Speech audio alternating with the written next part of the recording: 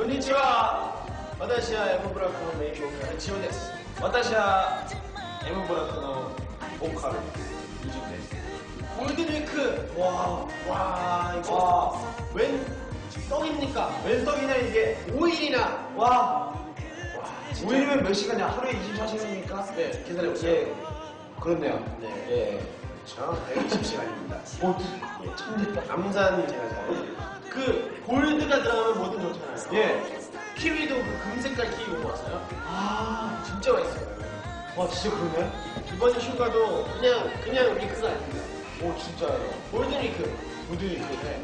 그냥 한 주가 아니라 네. 정말 황금 주라는 거예요. 5일 동안 쉴 수 있다는 그 기회가 저는 저희도 갑시다. 갑시다. 그 일본 골든 위크 때 저희가 같이 가서 네. 형님들과 함께 정말 골든 파티를 하는 거. 와?